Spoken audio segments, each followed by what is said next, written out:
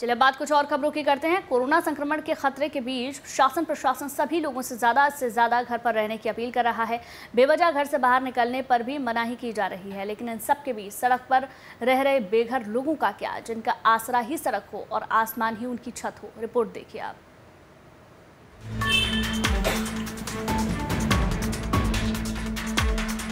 सड़क पर, फुटपाथ पर, झोपड़ी में गुजर बसर करने को मजबूर ये लोग कोरोना के मारे हैं जो बीते कई महीनों से इस हाल में जीने को मजबूर हैं। बिलासपुर का शायद ही कोई ऐसा कोना बचा हो जहाँ इन बेसहारा और बेबस लोगों की भीड़ नहीं दिखती हो। लेकिन इनका हालचाल लेने के लिए न विधायक हैं न मंत्री और न ही शासन प्रशासन का नुमाइंदा। कभी आता है खाना कभी अचानक आ जाता है कभी नहीं आता नहीं है। और रहने के लिए? रहने के लिए और जो सरकार वरकार से कोई मदद मिल रही है? नहीं मिल रहा है क्या बोलती है गवर्नमेंट?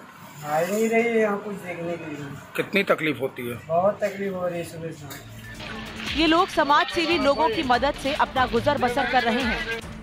सरकार कोई मदद नहीं कर रही है। तो फिर कौन देता खाना पीना? अब ये सरदार लोग आते लाते हैं वो खाना सरकार की है किसकी है हमको क्या पता।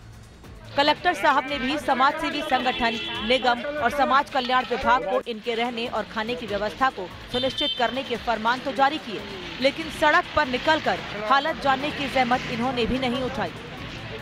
प्रकार की व्यवस्था समाज सेवी संगठन और हमारे नगर निगम के अधिकारियों को भी ये सुनिश्चित कर दिया गया है कि जितने भी हमारे घुमंतु और निराश्रित लोग हैं, उनको कहीं पर उनके ठहराने की व्यवस्था भोजन की व्यवस्था, उसकी भी पर्याप्त व्यवस्था की जाएगी।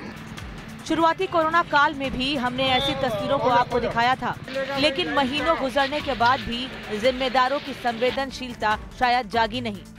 ये बेबस आज भी छत और दो जून की रोटी के लिए तरस रहे हैं। बिलासपुर से श्याम पाठक के साथ टीम न्यूज़ स्टेट।